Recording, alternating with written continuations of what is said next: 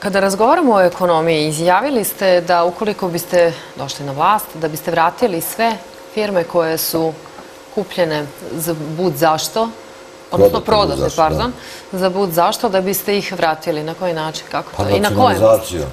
Nacionalizacijom, to je jedna stvar koja postoji svuda u svetu, samo taj zakon opet ne može da bude upadanjem, nego se donese zakon i svi oni za koje taj zakon, koji donete neki stručni ljudi, procenjuje da su prodate mimo, mimo vrednosti se, naravno oni koji su kupili, a nema dokaza o kriminalnim aktivnostima prilikom kupovine i prodaje, njima se to, to plati, plati im se izgubljena dobit, sve im se to plati ili se vrati državi Srbiji.